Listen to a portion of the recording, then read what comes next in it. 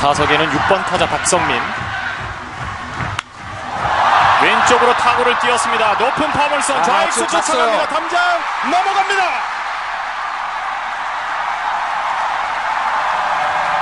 육번 타자 박성민의 투런 홈런. 시즌 9호 홈런을 신정락에게 뽑아냅니다.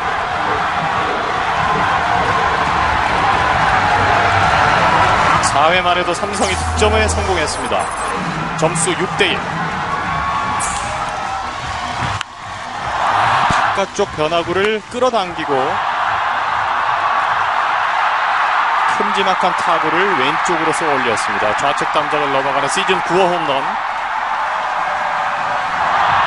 뭐 최태현 선수의 바깥쪽 직구의 안타, 뭐 박성민 선수의 바깥쪽으로 형성되는 슬라이드를 어느 정도 계산을 하고 들어갔어요.